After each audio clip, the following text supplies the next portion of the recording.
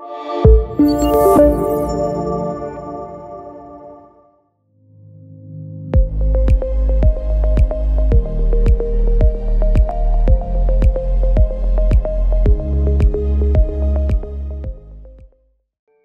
everybody. Thanks for uh, organizing this very important event and for inviting me to talk. I'm here representing academia. I'm professor of economics at the Stockholm School of Economics and at the University of Rome, and I'm specialized in uh, methods to deter uh, crime and white collar crime and uh, whistleblower rewards are really important tools according to research. Um, it is important to talk about research because uh, a lot of recommendations in other countries are based on biased information, while researchers tend to be, if not objective, independent, and, uh, and they base their conclusion on data. So I'm here to make, to summarize what research uh, based on the US has uh, found on the impact of whistleblower, uh, whistleblower reward schemes. So one clear point, and this is really important one, uh, some people have been saying that whistleblower awards are not effective. Well, there is plenty of data now, and there are very, very good researchers. There's one job market paper from MIT this year. They are showing that there is uh, a very strong deterrence effect linked to whistleblower awards. Now, deterrence means that white collar crime is prevented from happening, not only detected more easily, but prevent them from happening.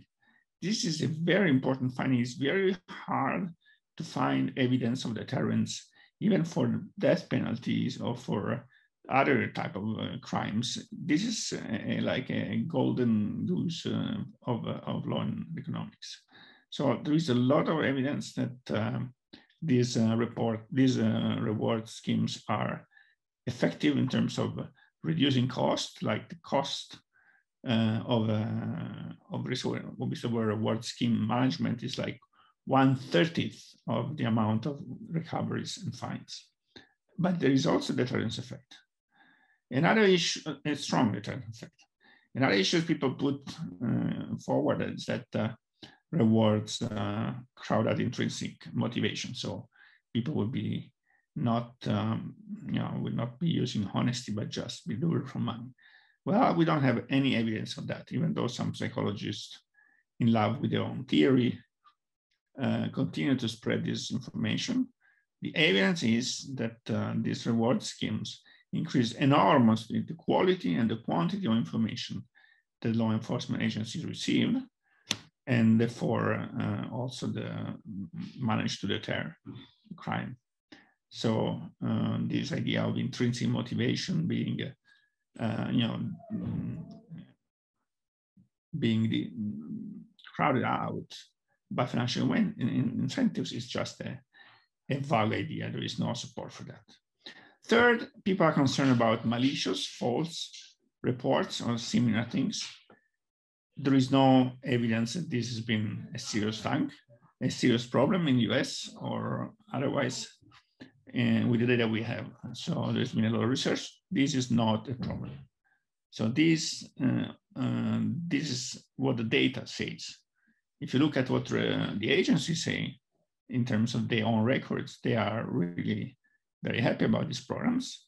These potential costs in terms of being flooded with the irrelevant uh, uh, reports has been uh, has been shown to, to be not, not, not based on reality. In reality, uh, there have been, there's been a large uh, increase in the number of reports. The, the attitudes and the conclusion of the agencies are important and should be uh, always kept uh, in front of the, of the debate. Um, there is a lot of false or biased information pushed forward by corporations or their representatives, sometimes governments, which are captured by the business, like in the case of UK, uh, it can be more details, but uh, uh, it's important to look at research, not at what institutions say, because they may have private agendas. And uh, it's also important to regard financial incentives as part of compensation for the damages that they will never be protected for. Uh, whistleblower cannot be protected from uh, for their career being ruined because corporation will always find an excuse after three years to, to kick the whistleblower out and so on. So evidence is strong. So research independent evidence is strong in favor of these uh, tools being super effective and super sell, you know, cheap and self-financing. And uh, be careful uh, about the information that is spread by non-independent researchers.